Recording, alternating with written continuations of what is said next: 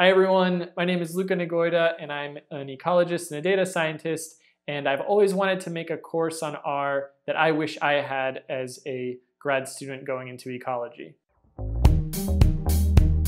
I think that one of the hardest parts with starting a grad program in ecology is really getting a good grasp of R.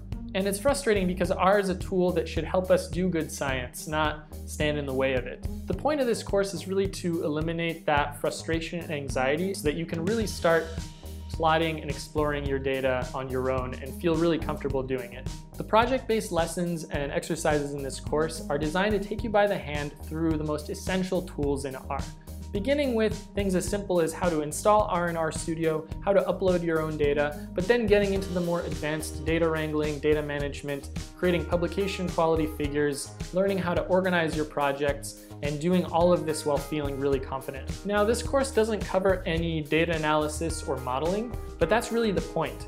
There's a lot of R courses out there that try to cover everything, and I think that can be really overwhelming for beginners to really grasp the foundation. This course is designed for students in ecology, whether you're a grad student or an undergraduate student, but really this course is applicable to anyone that wants a solid foundation in the basics of R. If you're interested in this course, check out the link below in the description so you can register. Registration for this initial launch is only open for one week, so make sure you register as soon as you can. Thank you so much for watching and please share this with anyone that you think could benefit from this course.